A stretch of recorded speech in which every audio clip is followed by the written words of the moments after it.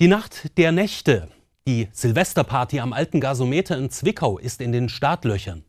Am 31. Dezember geht es hier auf dem neu gestalteten Platz wieder rund. Derzeit sind viele Arbeiter damit beschäftigt, für die Party alles vorzubereiten.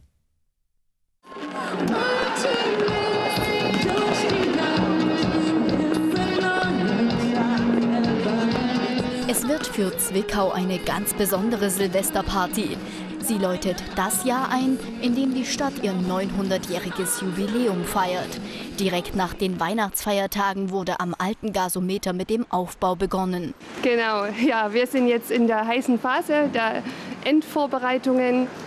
Alle Gewerke, alle Unterstützer sind ganz fleißig und sind auch jeden Tag auf dem Platz zugange, um alles entsprechend vorzubereiten. Wenn die Meteorologen recht behalten, dann dürfte zu der Party auch niemand frieren, denn für Silvester sind sogar Temperaturen bis zu 11 Grad angekündigt.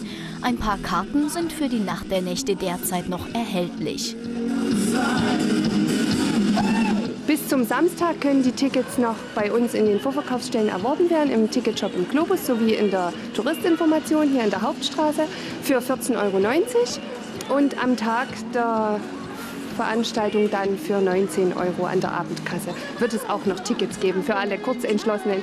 Wer vorher vielleicht noch essen gehen möchte, ist dann ganz herzlich eingeladen ab 18 Uhr. Und das ohne Böller, damit die Veranstaltung garantiert familienfreundlich und entspannt verläuft. Auf ein Feuerwerk muss dennoch niemand verzichten, denn das wird zur Nacht der Nächte zusammen mit der Lasershow von Profis gestaltet und verspricht einen Jahreswechsel der Extraklasse.